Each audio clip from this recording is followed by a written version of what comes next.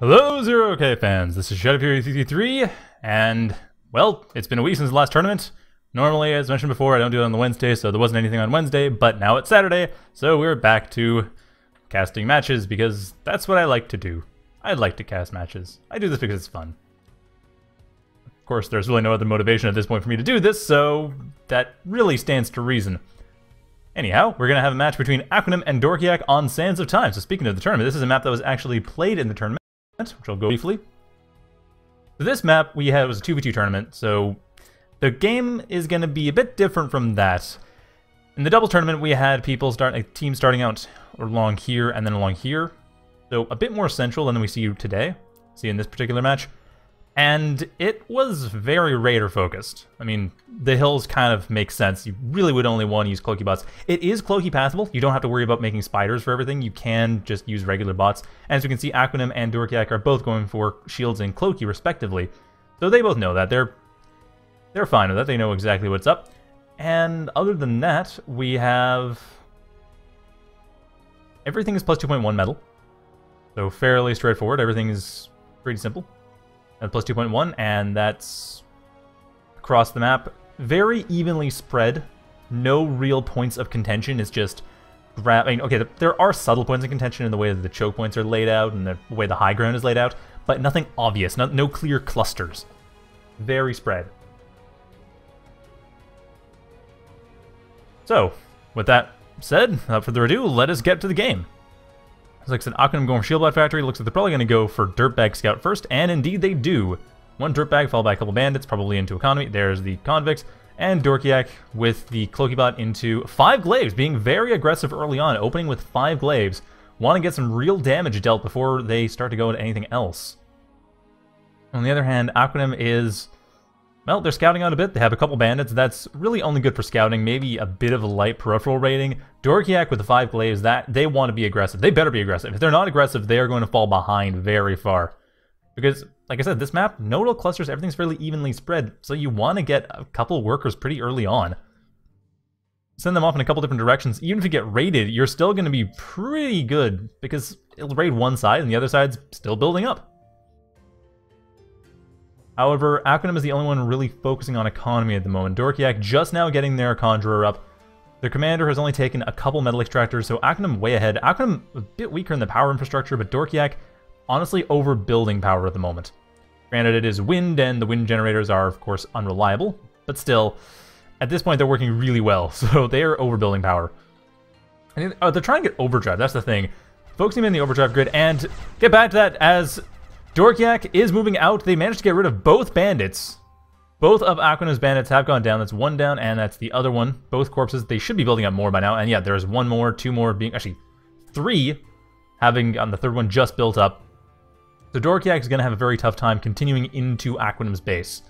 They are basically not going to be able to do so. If they go along the north side, if they call this... But no, they're not. They're going straight into Aquanim's base. They're going to run right into this defender. They're going to run right into the bandits. If is Dorkiak going to respond to this? I don't see Dorkiak. No, Dorkiak is not responding to this at all. Dorkiak's glaives are complete. What is Dorkiak even looking at? Oh, main base. Yeah, that's not going super well.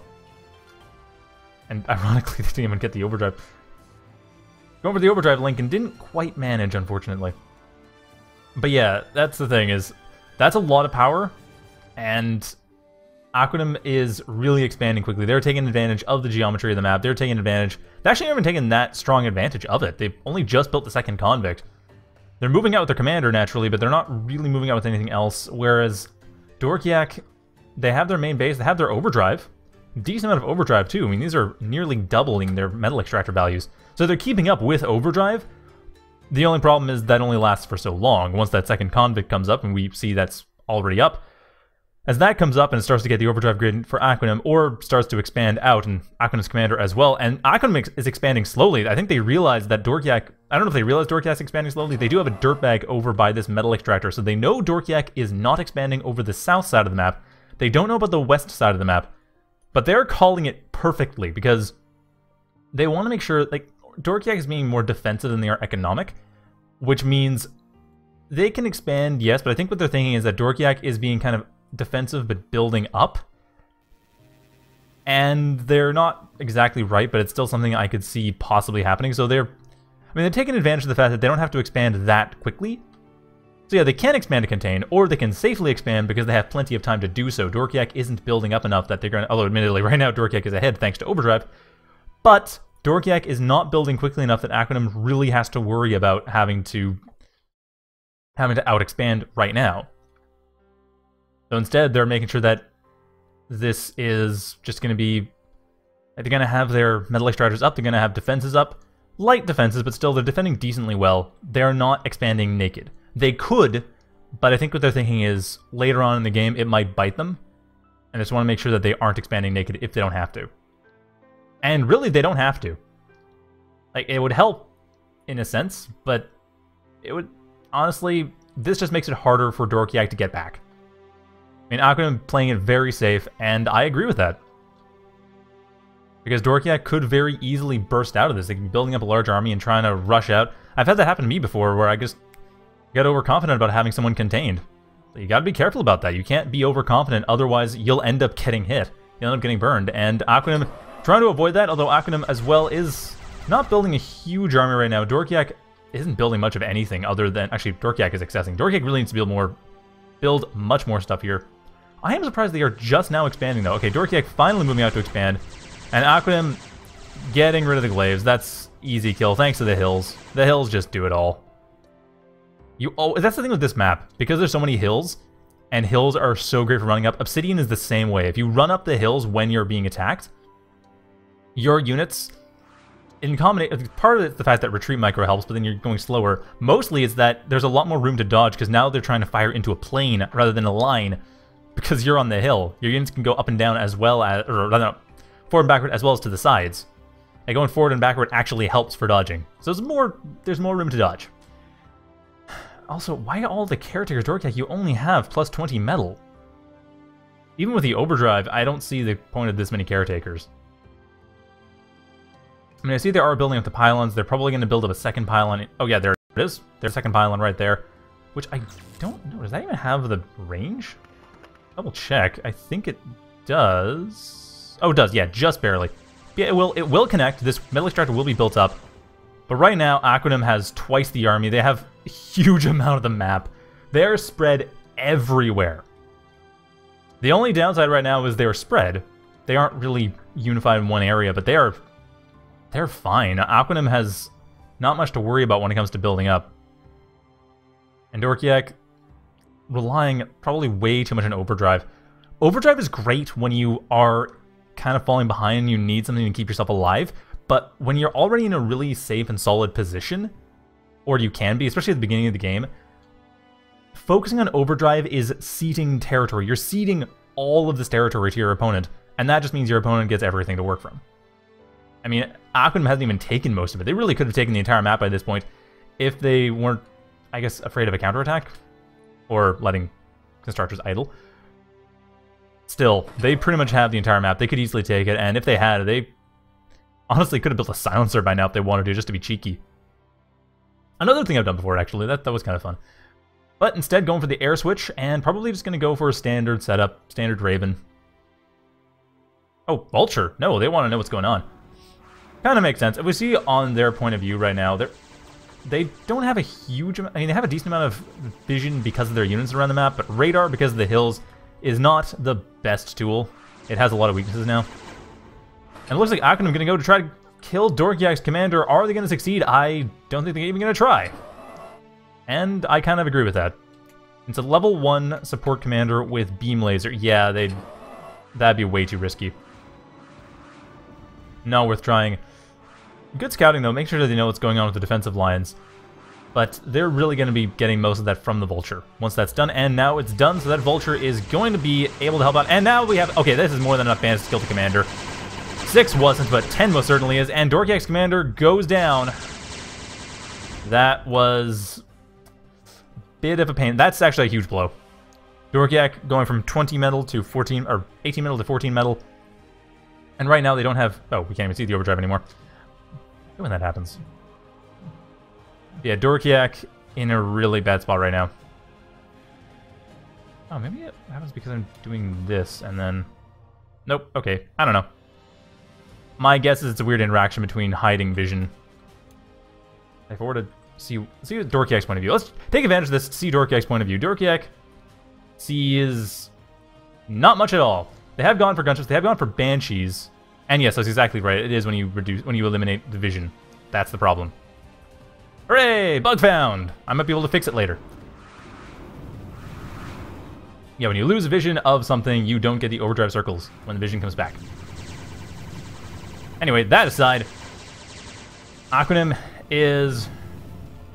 Well, they're going to take a bit of damage. This is what I meant by they would want to defend, because a burst out like this against a naked expansion could be damaging, but then again, Aquanim does have a massive economic, well, economic and military lead.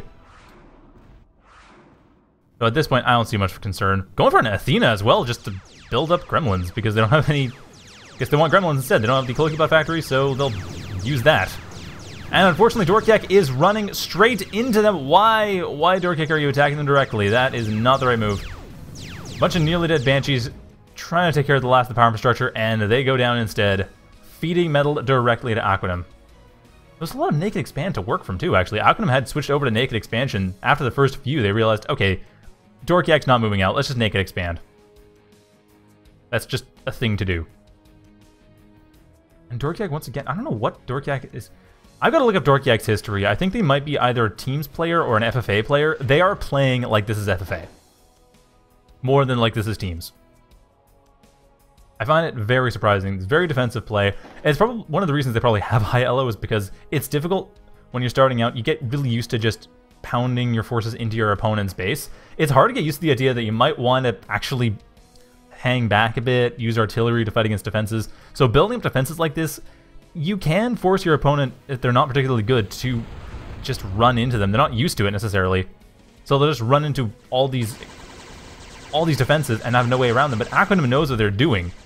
They can easily get around this. They've and they've just done so. Like this is probably the killing blow right here. These glaives being the only possible saving grace.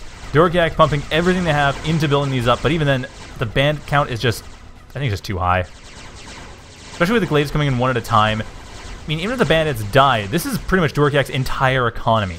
Like, this is it. Bit of a bad focus on the chainsaw, but otherwise, yeah, this is Dorkiak's economy. If they can take it out, and Aquanim focusing instead on production, I don't think they quite realize just how much Dorkiak is relying entirely on this corner. I think if they realized that, they would have probably just gone straight in, taken out all the wind generators, taken out all the metal extractors, and that would have been it. And the wind generators, good target, good to get rid of those. That's I think the entirety of the power infrastructure that Dorkiak has, come to think of it, they're really just living on this, and they're they have no overdrive going here at all. Like this pylon, unfortunately we can't see it because of that bug. I just identified the cause of finally. But yeah, this connected here, connected here, which is, I think, connected to nothing. Like, these two wind generators are it. Otherwise, no. Little surprised Aquanim is going really head on into these defenses. I mean, their bandits are able to take them out, but that's a, a that's a loss. On the other hand, we have round two, right, or wave two rather, right behind them. And that's not going to have as big of a problem. Dorkiak going for one last ditch attempt to break out of this. Trying to take out all these bandits. The Glaives are not doing the right enough. I mean, Glaives are weaker than bandits. One to one. By cost, about the same, but one to one, no, they are not. And I think Dorkiak is going to throw in the towel after losing those glaives. Like these glaives are all going to. It's four glaives. There's a couple of glaives, a few glaives behind them. It's eight glaives now. Running into the main base, running right into a massive pack of bandits, and that is going to be it. I think that, yeah, the Lotus will take out the last stragglers to get through.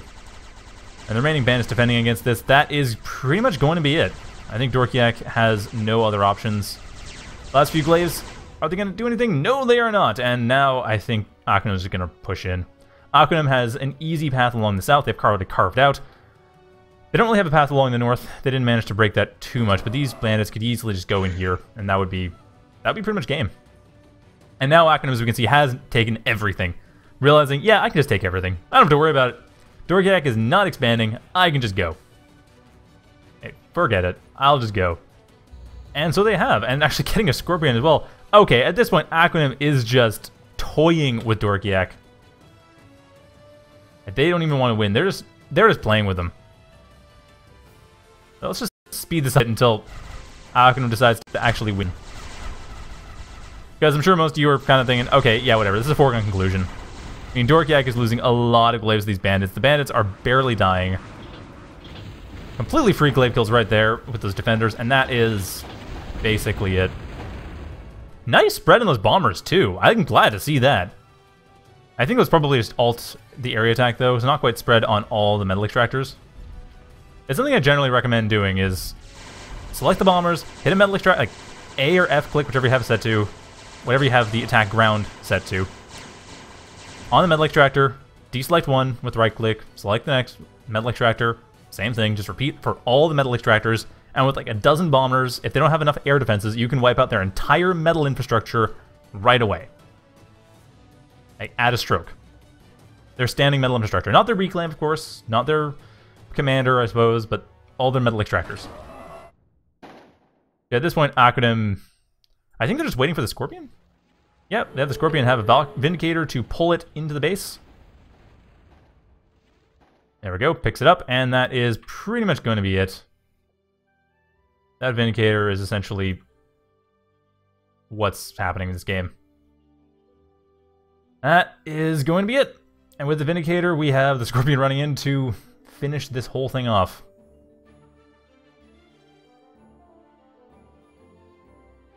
Dropping off right by the bandits. Now we should see it move in. Is it going to do it? I don't know. It looks like it might. Oh, another set of... Oh, size. Nice. So a handful of scythes come in here, while at the same time, Scorpion's moving in. The scythes are getting chased down, but the Scorpion moving in Let's slow this down a bit. Get back to normal speed. But the Scythe is getting spotted out right next to the bandits. The Scorpion not quite revealing itself. Dorkiak's Scythes are taking a lot of damage. I don't see them doing anything from this point on. Yeah, they got caught out. A little unfortunate. Managed to get a bit of damage, but at this point, it's there's way too much that Aquanim has. And a, a Wyvern for good measure. And it doesn't even kill them all. Wow, okay. At any rate, yeah, there's a bandit on intercept path. That's going to finish it. Scorpion still hasn't revealed itself, though. It's about to move out to do so. Dorkiak paying very close attention to this scythe, though. You see their cursors right there. They want to make sure that scythe does not die, and, well, no guarantees. And that reveals the Scorpion. The Scorpion takes out the Stardust. Well, he stuns out the Stardust, but that's, yeah, it's dead. And the Scythe getting one hit in before dying. Now the Scorpion, that's that's the real story. What happens with this Scorpion? Because that Scorpion is pretty much going to be finishing off this game. Running to the base, taking it out. This this game is pretty much over though. I'm I am still going to speed it up though. Speed of destruction of the Scorpion because really this is a foregone conclusion. And the Wyvern, why not? Take it. Bombing out the chainsaw to finish that off. And that's basically game. And then, oh yeah, for good measure, the Vindicator running in, because why not? And now with the Bandits coming in, that is gonna finish it. Bandits move in for the final blow, and Dorkiak throws in the towel. Hope you enjoyed that. That was gonna be first game for night.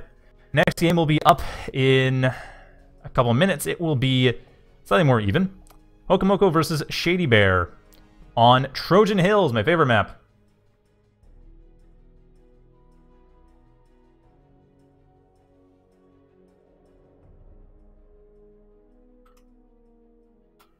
So stay tuned for that. It'll be up in just a moment.